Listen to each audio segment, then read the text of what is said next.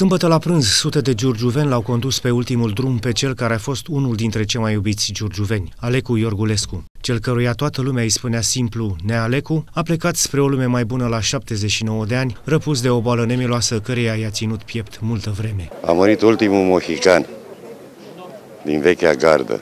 Alecu Iorgulescu a fost dintotdeauna un mare iubitor al fotbalului și a ajuns o personalitate cu nume în sportul giurgiuvean. A devenit o reală legendă a orașului nostru, fiind atacant la Dunărea Giurgiu, antrenor, dar și președinte al acestui club giurgiuvean. Ca antrenor a pregătit o mulțime de sportivi îndeosebi de la Dunărea Giurgiu, echipă cu care a reușit promovarea în al doilea eșalon fotbalistic românesc. Mereu calm și jovial, Nealecu a fost un om deasupra răutăților lumești, având o vorbă bună pentru toată lumea. Era de întâlnit pe stradă, la stadion, pe terenurile de fotbal sau de sport, mereu printre oameni, alături de ei și mereu mândru că băieții săi și mai ales Gino au ajuns mari în fotbal. Sunt blocat, însă nespus de bine mă simt. Mai ales când îți vine un băiat de genul ăsta, cum să te simți, nu? Și când am văzut și atmosfera asta plăcută aici, fără să-i invite, a anunțat de la unul la celălalt, s-a transmis și tot au venit 50-60 de aici. În, gener- în general, Gino nu vrea să uite colegii lui de echipă. Și nu numai colegii lui de echipă de la Dunărea, toți sportivii din orașul Giurgiu. Pe toți îi cunosc, să fiu cinstit. Dunărea care am antrenat eu timp de 2 ani, în frunte cu Gino, Buduru, care l-am dat la farul, la Rapid până Sturescu. Mi se pare că ai fost la cartea care s-a dat la... Ai văzut ce frumos a vorbit copilul ăla de mine. Preda Marian la Râmnicu Vâlcea. La Râmnicu Vâlcea. Cine mai e? Dar câți n-au fost? Știu că șase inși au jucat în divizia titulari și nu m-am făcut de râs cu ei. Mai departe, eu am stimat și jucătorii de la, de la Olimpia. Am fost prieten și cu ei. Că ei băteam noi mereu, aia altceva. Înțelegeți? Dar m-am avut bine școala asta, Sovis. Și jucătorii noștri cu jucătorii lor și invers. Dincolo de patima sa pentru fotbal, Alecu Iorgulescu a fost mereu un iubitor al orașului său, mândru că este giurgiuvean. O bună perioadă a fost consilier local între anii 1996 și 2000, în primul mandat al primarului Lucian Iliescu, cu care a fost bun prieten. Viața însă merge înainte, cu bune, cu rele și face ca tot ceea ce a fost cândva viu, palpabil și de trăit să devină amintire. Este foarte greu. Am petrecut împreună ani mulți, în primul rând, era un om deosebit, vesel, tot timpul găsea soluții. L-am avut și consilier la primărie și cei care plecau împreună cu el la deplasările care le făceam aveau să ne povestească de acest om hazliu, un om vesel, un om care a iubit fotbalul, a demonstrat prin ce a lăsat în urmă doi fotbaliști și, bineînțeles, o foarte bună directoare a băncii. Am cuperit împreună cu el mulți ani, cum s-ar spune, pentru că eu am stat aici, în Giurgiu, aici m-am născut, bineînțeles, și sigur, această preocupare și a mea pentru fotbal, am uh, avut posibilitatea să-l cunosc foarte bine și se poate vorbi despre Nele cu multe lucruri. Un om de toată valoare. Îl știam că e bolnav în ultima perioadă, ne întâlneam și acum venea la meciul de fotbal de la Astra, era un om foarte respectat de tot ceea ce înseamnă fotbalul giurgiuvean și românesc. A fost greu să mă despart de el.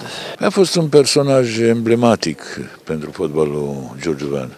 Un om care pentru asta a trăit și care, pe lângă faptul că a jucat aici la Dunărea și a antrenat la Dunărea, uh, an de rândul are meritul de a fi tatăl la doi jucători fotbaliști cunoscuți, cu precăderea lui Gino, nu? un internațional cu 49 de selecții în echipa națională, cel care l-a ținut pe uh, Paulo Rossi. Sigur, e păcat că s-a prăpădit, era bolnav de multă vreme, a tot fost operat de cancer, de mai multe ori, făcuse și metastaze, Dumnezeu să-l ierte, dar uh, cel puțin pentru ei și pentru sora lor, cei doi băieți și sora lor, uh, părintele, tatăl nu e niciodată prea bătrân și niciodată prea, prea bolnav Fotbalul Giurgiuvean a pierdut un personaj interesant, o figură, Nealecu, amiralul, cum îi spuneam noi, era un tip întotdeauna prezent, nici nu se jucau meciurile fără el, și când juca Dunărea aici, și când juca Dunărea în deplasare, și s-a bucurat de o simpatie deosebită în rândul giurgiuvenilor, dovadă sutele de oameni care au venit să-l conducă, cum se spune, pe ultimul drum. Dumnezeu să-l ierte. L-am cunoscut, uh, venea înainte de meciuri la noi, ne mai povestea din tinerețe, ne mai povestea de domnul Gino, de Vicențiu. Este un moment uh, greu, dar uh, important este să avem puterea să trecem peste aceste momente grele, pentru că fac parte din viața fiecăruia. Un om formidabil, un, un, un om care a crescut jucători mulți, un fotbalist care a știut ce înseamnă victoriile care le-a adus echipei Dunărea Giurgiu în continuu și orașului Giurgiu. A murit ultimul mohican din vechea gardă, care am cunoscut-o eu din 1962. Deci ce aș putea să mai spun despre dânsul? Cuvintele sunt de prisos, decât Dumnezeu să-l odihnească. L-ați cunoscut pe domnul, pe Nealecu Iorgulescu? E cum să nu-l cunosc, nu? Sunt uh, într-un fel și rudă, că cu mătru cu, cu Gino. De tineri. Foarte sufletist, un om extraordinar de generos și cu foarte, foarte mult umor.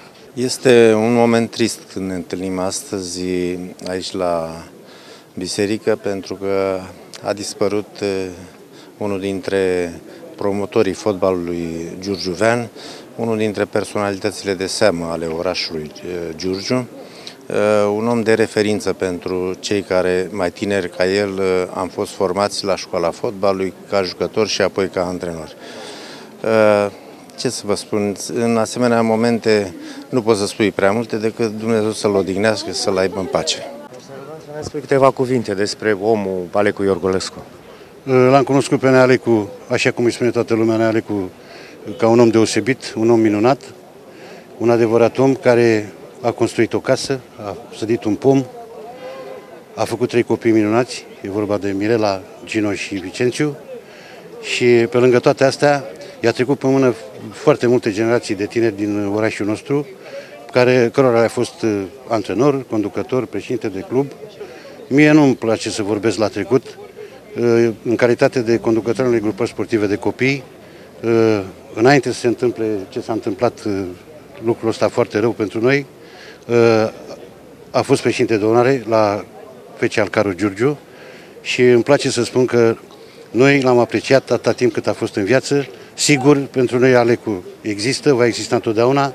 Ne-a fost foarte ușor să-l iubim, o să ne fie imposibil să-l uităm.